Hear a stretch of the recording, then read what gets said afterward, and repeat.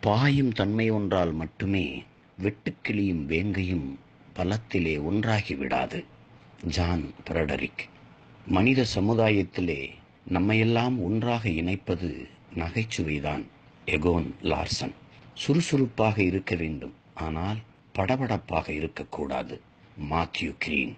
ஒருவர் பழகும் முறை அவர் உள்ளத்தை திறந்து காட்டும் கண்ணாடி. கதை.